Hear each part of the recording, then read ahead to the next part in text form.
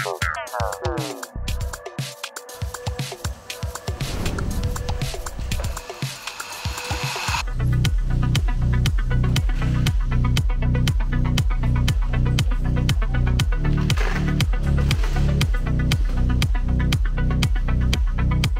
fabricamos bloques de juguetes. El paso a paso de la producción de, un juguete empieza con el diseño,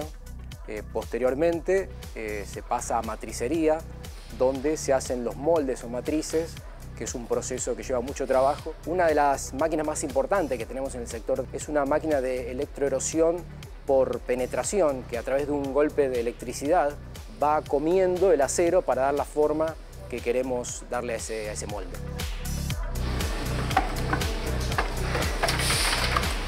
Después de ahí esas matrices o moldes se colocan adentro de las máquinas inyectoras, que son unas máquinas que derriten el plástico y le dan forma a las piezas. Eh, para eso la máquina tiene que aspirar el material plástico,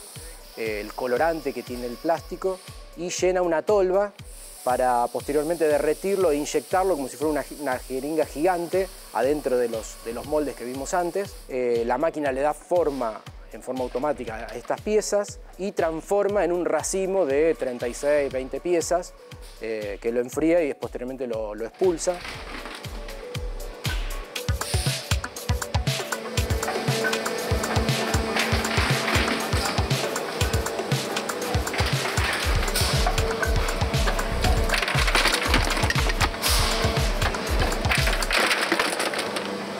Después de ese sector, las piezas pasan a embolsado, donde un grupo de, chicas, junto a una, máquina embolsadora, dosifican las piezas y eh, seleccionan las piezas para armar los kits que, vamos a producir y la máquina se encarga de embolsarlo y después de sellarlo para tener la bolsa lista para, envasar. Que el envasado, que es el último paso, lo hacen dos robots en forma automatizada que arman el estuche, eh, cargan la bolsa dentro de la caja y lo acomodan en las cajas colectivas, que son las cajas que van a ir a las, a las jugueterías.